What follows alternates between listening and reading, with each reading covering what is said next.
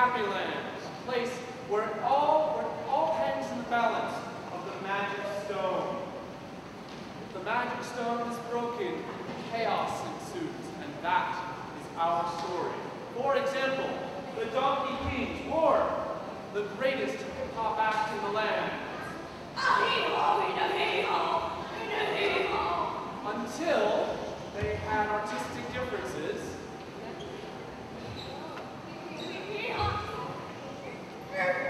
and they broke up. The Dark Donkey King had to go all the way to Duane Reade, where he was able to hook up with his amazing crew of super spies. And the Light Donkey King had to go all the way out to Costco to hook up with his super stellar group of spies. Meanwhile, my colleague, the detective, investigating the rest of the effects of the magic stone.